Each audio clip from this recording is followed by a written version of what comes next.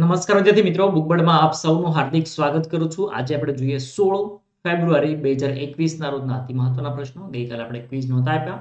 તો તેના બદલ તમને બીજી જાણકારી આપું કે આપણી બુકબર્ડ અકેડમી ગાંધીનગરની બ્રાન્ચ ચાલુ થઈ ચૂકી છે, જેમાં નવી બેચ પણ ચાલુ થઈ જવા રહી છે, જેનો ટાઈમ છે અઢાર ફેબ્રુઆરી બે હજાર એકવીસ સવારે આઠ વાગ્યાથી દસ વાગ્યા સુધી, જેમાં ચાર ડેમો લેક્ચર તમને ફ્રી આપવામાં આવશે. એના માટે તમારે કોન્ટેક્ટ કરવાનો છે. પ્રથમ માળ યુકો બેંકની ઉપર ઘ પાંચ સર્કલ સેક્ટર સોળ ગાંધીનગર ખાતે અથવા તો તમે કોલ કરી શકો છો. Seven five seven five eight seven eight six six one પર જેમાં બિન સચિવાલય ક્લાસ થ્રીની જનરલ બેચ કોન્સ્ટેબલ એએસઆઈ અને પીએસસીની બેચ ચાલુ છે. એ જ રીતે મહેસાણા ખાતે પણ આપણી બ્રાન્ચ ચાલુ થઈ ચૂકી છે. જેનો કોન્ટેક્ટ નંબર છે seven five seven five eight seven eight six six four Himmatnagar Bookbird academy પણ ચાલુ થઈ ચૂકી છે. જેનો નંબર છે seven five seven five eight seven eight six six અને નવી બ્રાન્ચ આપણી આણંદ વિદ્યાનગર ખાતે શરૂ થઈ છે. જેનો કોન્ટેક્ટ નંબર છે સેવન પર તમે કોન્ટેક્ટ કરી શકો છો. ચલો, આજે આપણે જોઈએ આપણા આજના કરંટ અફેર્સના ટોપિક કઈ રાજ્ય સરકારે જલાભિષેકમ જલાભિષેકમ નામનું જળ સંચય અભિયાન શરૂ કર્યું? જલાભિષેકમ નામનું એક જળ સંચય અભિયાન શરૂ કર્યું છે. તો એ કયા રાજ્યનું છે? આપણા સ્તર છે મધ્યપ્રદેશ. મધ્યપ્રદેશે આ પ્રકારનું જલાભિષેકમ નામનું જળ સંચય અભિયાન શરૂ કર્યું છે. મિત્રો, આપણે ગુજરાતમાં ગુજરાતમાં પણ એક જળ સંચય અભિયાન શરૂ કરવામાં આવ્યું હતું. કયું હતું? એ તમારે કમેન્ટમાં લખવાનું છે. ચલો, તમારે કમેન્ટમાં લખવાનું છે કે વિજયભાઈ રૂપાણીએ જ્યારે શરૂ કર્યું જો કે વિજયભાઈ રૂપાણી તો હાલ કોરોનાગ્રસ્ત થયા છે, કોરોનાની અસર થઈ છે એમને એટલા માટે હવે એ કોરોનાગ્રસ્ત એ ક્વોરન્ટાઇન થયા છે. પણ વિજયભાઈ રૂપાણી, આપણા મુખ્યમંત્રી વિજયભાઈ રૂપાણી ગુજરાતમાં પણ આ જળ સંચય અભિયાન શરૂ કર્યું હતું. એનો કમેન્ટમાં અત્યારે જ તમે આન્સર લખો. આપણે હમણાં તેના વિશે ડિસ્કસ કરીશું. ચલો આઈ હોપ કે ઘણા બધા વિદ્યાર્થી મિત્રો આન્સર લખ્યો હશે. તો અહીંયા જે અભિયાન જે શરૂ કરવામાં આવ્યું હતું, એ અભિયાન કયું છે એ તમારે આન્સર લખવાનું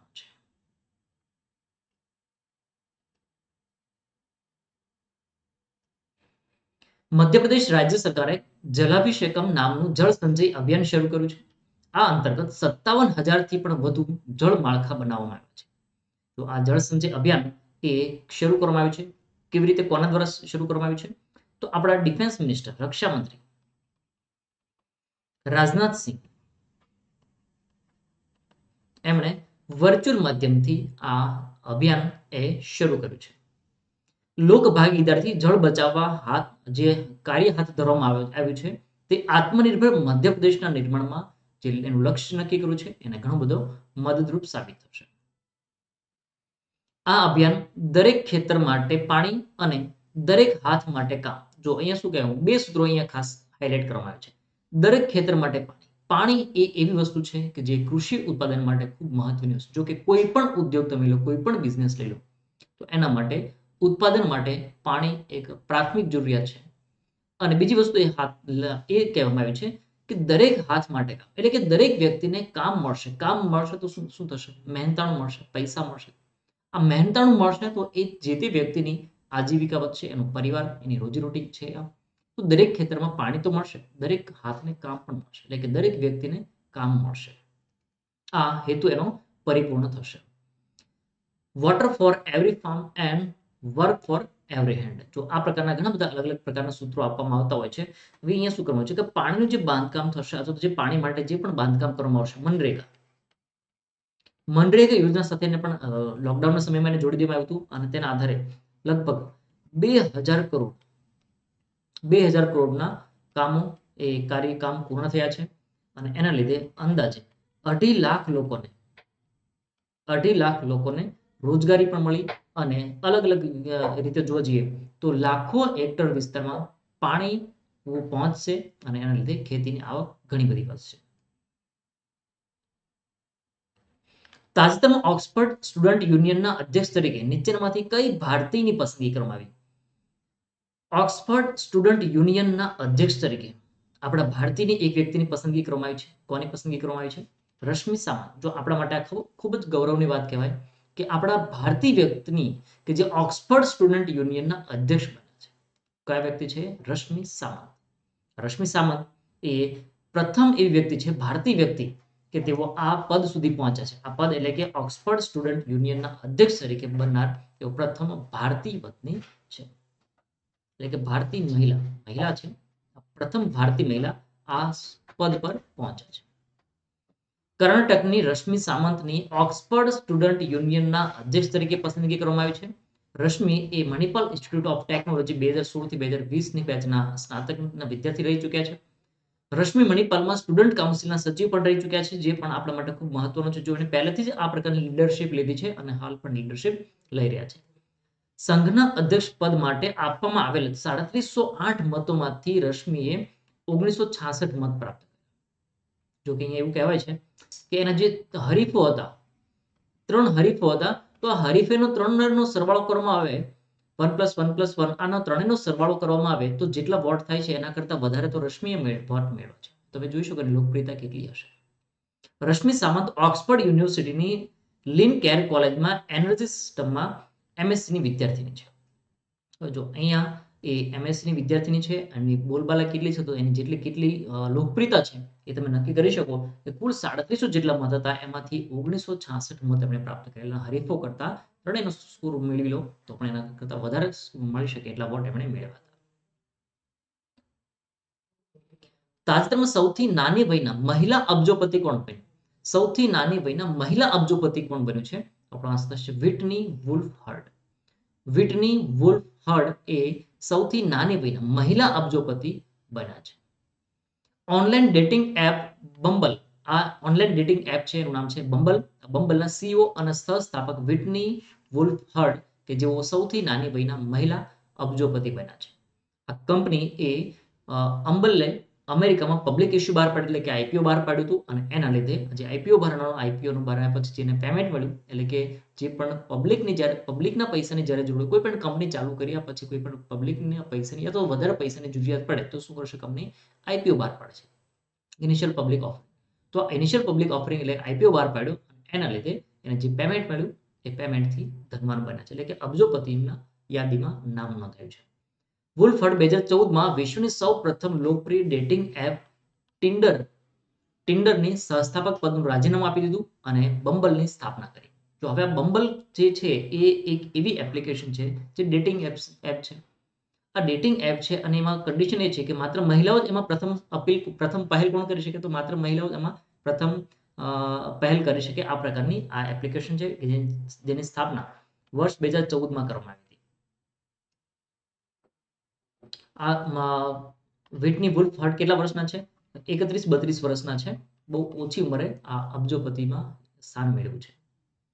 વિશ્વ બેંકના તાજેતરના રિપોર્ટ મુજબ વિશ્વમાં રોડ અકસ્માતો ક્રેશ વગેરેમાં ભોગ બનનારાઓમાં ભારતીયોની સંખ્યા કેટલા ટકા છે?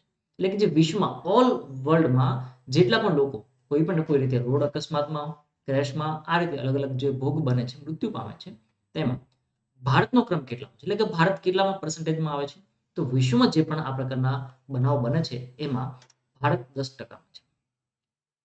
એટલે કે કુલ જે ઘટના બને છે, એમાં ભારતમાં આવી દસ ટકા ઘટનાઓ ભારત તાજેતરમાં વિશ્વ બેંકના રિપોર્ટ મુજબ, વિશ્વમાં રોડ અકસ્માતો ક્રેશ વગેરેમાં મૃત્યુ પામનારોમાં ભારતીયો છે, એમાં ભારતીયોની સંખ્યા કેટલી છે? દસ ટકા છે. જો કે વિશ્વમાં કુલ જે અકસ્માત થાય છે, તો કુલ અકસ્માતની દ્રષ્ટિએ જોઈએ, તો ભારત એ છઠ્ઠો ક્રમ છે. એટલે કે ભારતમાં છ ટકા ભારતનો એમાં રોલ છે. અથવા તો જે વિશ્વમાં છ, સો ટકા જે અકસ્માત થયા હોય તો એમાંથી છ અકસ્માતો એ ભારતના છે. છેલ્લા દાયકામાં ભારતમાં માર્ગ અકસ્માતમાં one point three one point three million લોકો મૃત્યુ પામ્યા અને પાંચ મિલિયનથી પણ વધુ લોકો ઘાયલ થયા. જો હવે અહીંયા શું કહેવામાં આવ્યું છે કે જે અમીર લોકો છે, ધનવાન લોકો છે, એની સરખામણીમાં જે ઓછી આવક ધરાવે છે અથવા જે ગરીબ લોકો છે, એવા લોકો એવા છે કે જે પંચોતેર ટકા એમની પ્રોબેબિલિટી વધે છે. કે જે અમીર લોકો છે યા તો ધનવાન લોકો છે, એ લોકો બહુ રોડ અકસ્માતમાં ઓછા નુકસાન પામે છે, તો એનું મૃત્યુ ઓછું થયું છે, અથવા તો કોઈને કોઈ ક્રેશ અથવા તો કોઈને કોઈ રીતે ઘાયલ થયા હોય, એવી સંભાવના ઓછી છે કે જે ગરીબ છે એના પ્રમાણમાં ઓછી છે. તો એટલે રેશિયો કેટલો બન્યો? કે પંચોતેર ટકા લોકો એવા છે કે જે વધારે સામનો કરે છે, અથવા જે ગરીબ લોકો છે એને વધારે પડે છે. તો કે એની પાછળના ઘણા બધા કારણો છે કે રોડ અકસ્માત માટે આપણે વાહનો જે વાહનોની ફિટનેસ પણ નથી, એ પણ એક જવાબદાર કહેવામાં આવ્યું છે. અવેરનેસ નથી, એ પણ કહેવામાં આવ્યું છે. વિશ્વમાં જેટલા પણ વાહનો છે, વિશ્વના કુલ જે વાહનો છે, એમાંનો એક ટકા વાહન ભારતમાં છે. અને રોડ અકસ્માતમાં જે વાહનો ક્રેશ થાય છે, અથવા તો જે પણ અકસ્માત થાય છે, મૃત્યુનું પ્રમાણ છે, એ મૃત્યુનું પ્રમાણ એમાં હવે જે ઘટાડો જે થયેલો છે, એમાં તમિલનાડુ. તમિલનાડુ એમાં પચીસ ટકાનો ઘટાડો થયો. તમિલનાડુમાં કેટલો ઘટાડો થયો? તો પચીસ ટકાનો ઘટાડો થયો. એટલે ખૂબ ખૂબ મોટો ઘટાડો કહી શકાય, ઘણો મોટો ઘટાડો કહી શકાય. આ રિપોર્ટ આ રિપોર્ટનું નામ કયું છે અને કોણે રિપોર્ટ બહાર પાડ્યો છે? તો આ રિપોર્ટનું નામ આપણા માટે ખૂબ મહત્વનું છે. જીપીએસસીની એક્ઝામ હોય તો જીપીએસસીની એક્ઝામમાં આવા ક્વેશ્ચન પૂછેલી છે. હમણાં જે એસટીની એક્ઝામ આવે છે, તો આવા પ્રશ્નો આપણા માટે મહત્વના હોય છે. રિપોર્ટનું નામ કયું છે? તો રિપોર્ટનું નામ traffic crash traffic crash injuries and disability the burden on Indian society કે જેને કોણે રજૂ કર્યો છે? આપણા વાહન વ્યવહાર મંત્રી નીતિન ગડકરી એમણે આ રિપોર્ટ રજૂ કર્યો છે. વાહનોની નિયમિત ચકાસણી ન કરવામાં આવી હોવાનું પણ આ રોડ અકસ્માતનું એક કારણ છે અને એનાથી બચવા માટે એનું નિરાકરણ માટે શું કરી શકાય? તો હાઈવે છે હાઈવે પર ઇમરજન્સી જે સ્વાસ્થ્ય મેડિકલ હેલ્પ માટે અથવા મેડિકલ સર્વિસ છે, એને બમણી કરવામાં આવે, એને વધારવામાં આવે, તો પણ અકસ્માતની પ્રમાણ તો એ તો અકસ્માત તો એટલું રહેશે. પરંતુ જે ડિસેબિલિટી થતી હોય, મૃત્યુ પામતા હોય, ઘાયલ થતા હોય, એવી લોકોની સંખ્યા ઓછી થઈ જશે. તાજેતરમાં કઈ નદીને દેશની પ્રથમ બી ક્લાસ નદીનું શીર્ષક મળ્યું? બી ક્લાસ નદીનું ટાઇટલ આપવામાં આવ્યું. આ નદી કઈ છે? તો આપણો આન્સર છે બીએસ નદી. બીએસ નદી કે જેને પ્રથમ બી ક્લાસ નદીનું ટાઇટલ આપવામાં આવ્યું છે. પંજાબ અને હિમાચલ પ્રદેશમાં વહેતી આ બીએસ નદી કે જેને ભારતની પ્રથમ બી ક્લાસ નદીનું ટાઇટલ અથવા શીર્ષક આપવામાં આવ્યું છે. તો જોઈએ આ બી ક્લાસ એટલે શું? તો આ બી ક્લાસ મુજબ નદીનું પાણી નાહવા માટે અને પીવા માટે યોગ્ય બની ચૂક્યું છે. નાહવા માટે અને પીવા માટે જેને યોગ્ય માનવામાં આવ્યું હોય એને કહેવાય બી ગ્લાસ. પાણી પીતા પહેલા નદીના પાણીને ફિલ્ટર કરવાની પ્રક્રિયા કરવી પડશે. તો અહીંયા આપણે ત્રણ કેટેગરી અલગ અલગ સમજી લઈએ કે A class B class C class શું શું છે? તો એ ક્લાસ એટલે શું? તો એ ક્લાસ એવું કે જેને ડાયરેક્ટ આપણે પાણી પી શકીએ. Direct direct drink. ડ્રિંક એટલે પેલી પોટલી પીવાનું ના સમજતા. ડ્રિંક એટલે પાણી પીવું. યા તો ડાયરેક્ટ કન્ઝ્યુમિંગ આપણે લઈએ. ડાયરેક્ટ કંજો બી ક્લાસ એટલે શું?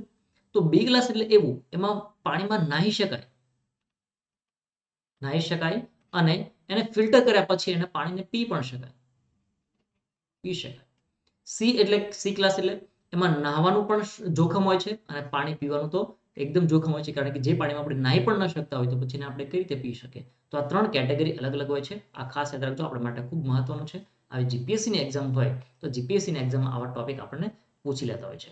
જો અહીંયા એ ક્લાસ એને ડાયરેક્ટ પાણી પી શકાય છે, એટલે કે ફિલ્ટર કરવાની કોઈ જરૂરિયાત રહેતી નથી. બી ક્લાસ કે જેમાં વ્યક્તિ નાહી શકે છે, પાણી પી પણ શકે છે, પરંતુ પાણીને થોડું ફિલ્ટર કરવું જરૂરી છે. જ્યારે સી ક્લાસ કે આવા સી ક્લાસ કે એમાં વ્યક્તિ નાહવા યોગ્ય પણ નથી અને પીવા યોગ્ય પણ નથી.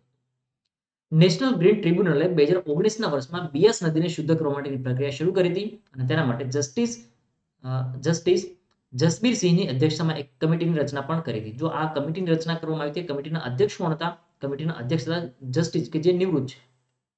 નિવૃત્ત જસ્ટિસ જસબીર સિંહ એની અધ્યક્ષતામાં એક કમિટી રચના કરવામાં આવી હતી આ કમિટીએ એનું કામ પણ ચાલુ કરી દીધું અને બે હજાર વીસમાં એમણે કમિટીએ વર્ષ બે હજાર વીસમાં જો કે જાન્યુઆરી બે હજાર વીસમાં આ આ રિપોર્ટ એમણે આપ્યો હતો. એક વર્ષ સુધી એના પર એનાલિસિસ કરવામાં આવ્યું અને ત્યાર પછી આ નદી, એને બિયાસ નદીને ક્લાસ બી કેટેગરી આપવામાં સેવાનિવૃત્ત જસ્ટિસ જસબીર સિંહની અધ્યક્ષતામાં બનેલી કમિટીના અનુસાર બિયાસ નદીના બે હિસ્સામાં પાણી પીવા લાયક બન્યું છે. એટલે કે એમાં ગુણવત્તામાં સુધારો થયો છે.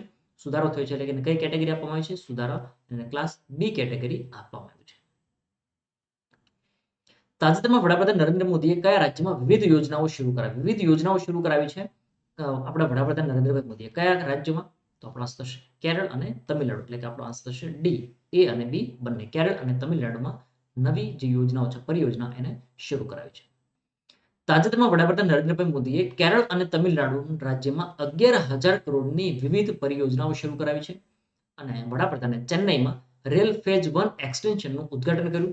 આ યોજનાનો ખર્ચ કેટલો આંકવામાં આવ્યો છે? સાડત્રીસો સિત્તેર કરોડ રૂપિયાનો ખર્ચ આંકવામાં આવ્યો છે જે નવ પોઈન્ટ ઝીરો પાંચ કિલોમીટર લાંબા એક્સટેન્શન ઉત્તર ચેન્નઈને એરપોર્ટ અને સેન્ટ્રલ રેલવે સ્ટેશનને જોડશે. કયા બે સ્થળોને જોડે છે? તો આ એક્સટેન્શન છે એ ઉત્તર ચેન્નઈને એરપોર્ટ અને સેન્ટ્રલ રેલવે સ્ટેશનને જોડશે. ચેન્નાઈ બીચ અને અડ્ડીપટ ટુ અડ્ડીપટ વચ્ચે ચોથી રેલવે લાઇનનું પણ એમને ઉદઘાટન કર્યું. સાથે સાથે ચેન્નાઈમાં આઈઆઈટી મદ્રાસના ડિસ્કવરી કેમ્પસનો પણ શિલાન્યાસ કર્યો અને તેનો પહેલા તબક્કાનો ખર્ચ અંદાજિત એક હજાર કરોડ રૂપિયા આંકવામાં આવ્યો છે. એ સિવાય વિલ્લુપુર કુડાલોર મહિલા મહિલા દુથુરાઈ તાંજોર અને ફરીથી પાછું મહિલાદુથુરાઈથી તિરુવરપુરમ સિંગલ લાઇન આ સેક્શન પણ શરૂ કરવામાં આવ્યું છે. એનું વીજળીકરણ કરવામાં આવ્યું છે રેલવેનું. કેરળના કોચી ખાતે પ્રોપાઇલિન ડેરિવેટિવ પેટ્રોકેમિકલ પ્રોજેક્ટ એનું પણ ઉદ્ઘાટન કર્યું છે. અન્ય ટોપિક વિશે વાત કરીએ. વર્લ્ડ બેંક અને છત્તીસગઢ આ બંને સાથે મળી અને સો મિલિયન પ્રોજેક્ટ પર હસ્તાક્ષર કર્યા છે. ભારત સરકાર અને છત્તીસગઢ સરકારે વર્લ્ડ બેંક સાથે મળીને ચિરાગ પ્રોજેક્ટ માટે, ચિરાગ પ્રોજેક્ટનું પૂરું નામ શું થશે? આ પૂરું નામ આપણા માટે ખાસ મહત્વનું છે. પૂરું નામ કયું થશે?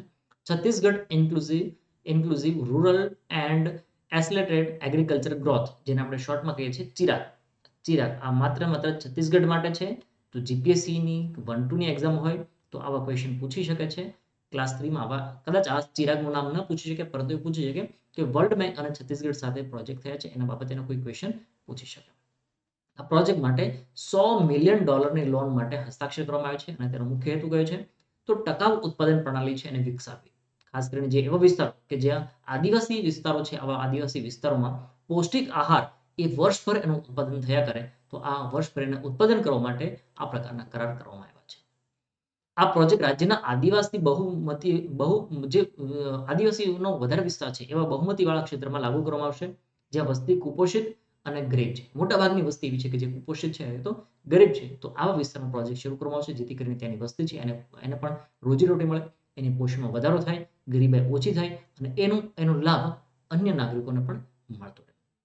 છત્તીસગઢના આઠ જિલ્લામાં આશરે એક હજાર ગામોમાંથી એક લાખ એસી હજારથી વધુ ઘરોને આ પ્રોજેક્ટનો લાભ આપવામાં આવશે. લોકસભામાં જમ્મુ કાશ્મીર પુનર્ગઠન સુધારા બિલ બે હજાર એકવીસ પસાર થઈ ચૂક્યું છે. જોકે આ બિલ અગાઉ રાજ્યસભામાં પણ પસાર થઈ ચૂક્યું હતું. આ બિલ અમલમાં આવતા જમ્મુ કાશ્મીરની વર્તમાન કેડર છે, કે જેમ આઈએસ આઈપીએસ અને આઈએફએસ તો આ અધિકારીઓ હવે અરુણાચલ પ્રદેશ, ગોવા, મિઝોરમ અને કેન્દ્ર શાસિત પ્રદેશની કેડરમાં વિલીન થઈ જો કે આપણે અગાઉ પણ આ વાત કરી ચૂક્યા હતા. ત્યારે વટહુકમ જાહેર કરવામાં આવ્યું હતું અને આ બિલ એ કયા વટહુકમનું સ્થાન લેશે? આ બિલ એટલે કે જમ્મુ કાશ્મીર પુનર્ગઠન સુધારા વટહુકમ એનું સ્થાન લેશે, કે જેને કેન્દ્ર એ જાન્યુઆરી બે હજાર એકવીસમાં આ વટહુકમ લાગુ કર્યો. આ કાયદો હવે અમલમાં આવશે. ત્યારથી જમ્મુ કાશ્મીર કેડરના જે અધિકારીઓ છે, એ કેન્દ્રશાસિત પ્રદેશની કેડરનો ભાગ બનશે.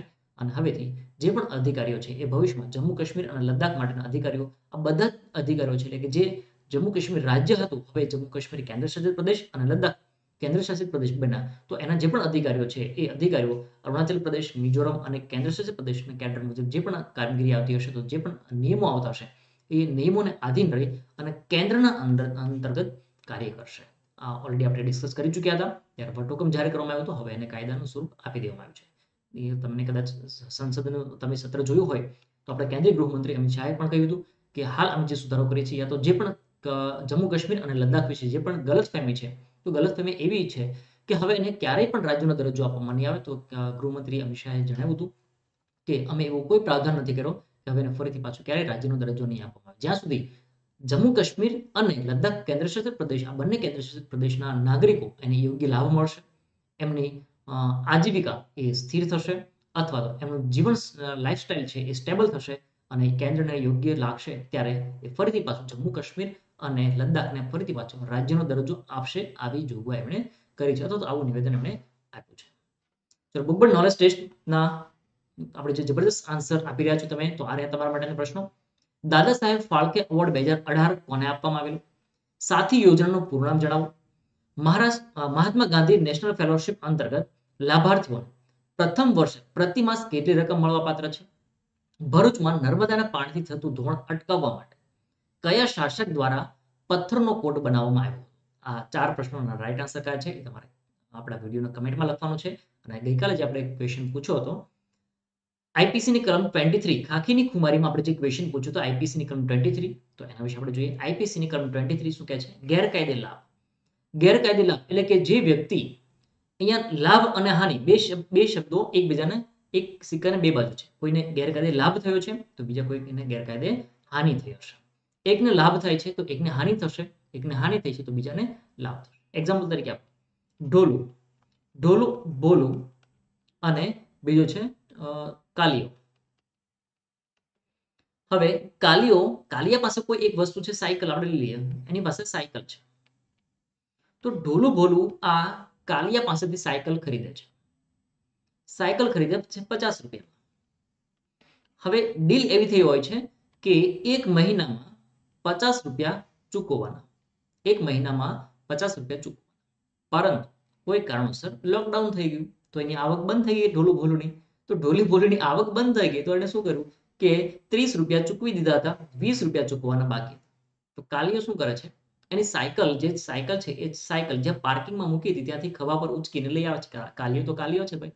એ તો ઉચકીને લઈ આવશે. હવે એમ કે છે કે બાકીના વીસ રૂપિયા તું આપીશ, પછી જ હું સાયકલ આપીશ. તો અહીંયા શું થયું? કાલિયાને ગેરકાયદે લાભ થયો અને ઢોલું બોલુને ગેરકાયદે હાનિ થઈ. હવે ટર્મ્સ કન્ડિશન થોડી ચેન્જ કરવી આ પ્રકારના ક્વેશ્ચન પણ હોઈ શકે છે. હવે એવું થયું કે લોકડાઉન થયું, ત્રીસ રૂપિયા ચૂકવ્યા હતા, વીસ રૂપિયા ચૂકવાના બાકી હતા. ઢોલું ભોલું બંને સાથે મળીને કાલિયાભાઈ પાસે જાય છે. કાલિયાભાઈ લોકડાઉન થઈ ગયું છે. હવે આપણી પાસે, મારી પાસે પૈસા કોઈ નથી ઇન્કમ કોઈ નથી. પણ એવું કરો કે સાયકલ તમારી પાસે રાખો. જ્યારે હું બાકીના વીસ રૂપિયા ચૂકવી દઈશ, ત્યારે મને સાયકલ તમે આપી દેજો. બંને એગ્રી થઈ જાય છે. તો આ એગ્રી બંને થાય છે, તો આવી કન્ડિશનમાં ગેરકાયદેસર લાભ અથવા ગેરકાયદેસર હાનિ થતી નથી. બંનેની પરસ્પર સહમતિ છે, બંનેની પરસ્પર સંમતિ છે. તો આ પ્રકારની જ્યારે બંનેની પરસ્પર સહમતિ અથવા સંમતિ થઈ હોય, તો કોઈને ગેરકાયદેસર હાનિ યા તો લાભ થતો નથી. પરંતુ કોઈ વ્યક્તિ, કોઈ એક ખેડૂતનું એક્ઝામ્પલ લઈએ. કોઈ ખેડૂત એક બળદ ખરીદે છે. અને બળદ ખરીદે છે, બળદ ખરીદતી વખતે જે પણ દસ હજાર રૂપિયા નક્કી કરવામાં આવ્યા. તો દસ હજાર રૂપિયા એ ચૂકવી શકતા નથી ખેડૂત અને જે જે બીજા ખેડૂત પાસેથી એમણે ખરીદી છે તો ખેડૂત ટુ પાસેથી જેમણે બળદ ખરીદ્યા છે તો હવે શું કરશે? તો આ ખેડૂત ટુ એ બળદને ત્યાંથી લઈ આવે છે. બળદને લઈ આવે છે અને એમ કહે છે કે જ્યાં સુધી બાકીના રૂપિયા નહીં ચૂકવે, ત્યાં સુધી હું બળદ મારી પાસે રાખીશ.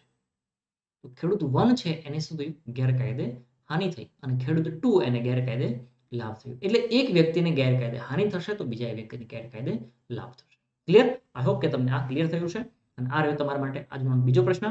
કાકીની કુમારીમાં આઈપીસી ની કલમ ટ્વેન્ટી નાઇન એ વિશે તમારે જણાવવાનું છે. આઈપીસી ની કલમ ઓગણત્રીસ એ ઓગણત્રીસ એ અથવા તો ઓગણત્રીસ ક.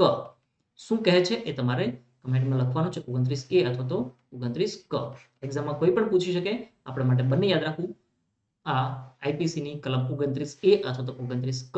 શું કહેવા માંગે છે? તમારે સવિસ્તાર આન્સર લખવાનો છે. તો મિત્રો, આ હતા આપણા આજ રોજના અતિ મહત્વના પ્રશ્નો. તેના વિશે આપણે ચર્ચા કરી. મળીએ નેક્સ્ટ વિડીયોમાં thank you for watching birds કરવા થેન્ક યુ સો મચ